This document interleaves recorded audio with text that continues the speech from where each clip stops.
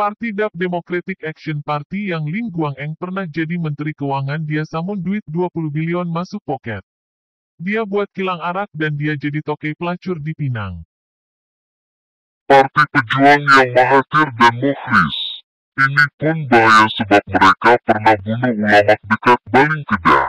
Ramai mati Mahathir jahat. Mahathir dia gangster mafia. Mahathir dan Mukhlis busuk hati. Saya kenal Anwar Ibrahim dia suka main lubang bontot Anwar suka buat hurai hara di baling dia suka buat untuk politik dia gila kuasa tetapi dia punya kerja suka hurai hara.